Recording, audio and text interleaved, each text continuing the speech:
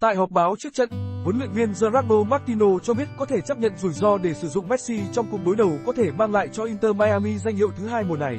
Nhưng đến phút chót, huấn luyện viên người Argentina quyết định không mạo hiểm, phải bỏ tiền đạo 36 tuổi khỏi danh sách đăng ký thi đấu.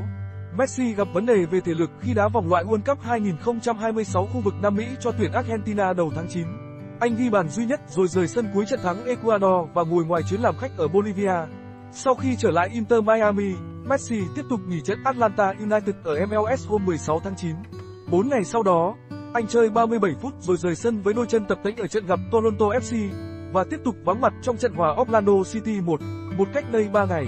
Messi tiếc nuối sau một pha hỏng ăn của Inter Miami.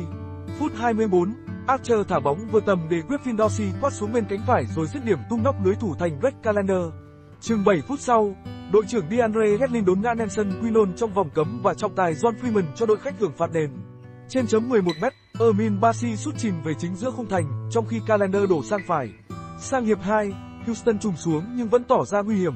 Từ pha phản công ở phút 73, Nelson Quinon xâm nhập vòng cấm trách bên cánh trái rồi dứt điểm chệch cột dọc khung thành. Bàn thắng quyết định đến ở phút 90 cộng 2, khi Joseph Martinez kịp thời đá bồi bóng cận thành, nâng tỷ số lên 2-1 cho Houston Dynamo. Inter Miami không thể ghi bàn gỡ hòa và phải nhận thất bại trước đối thủ mạnh hơn.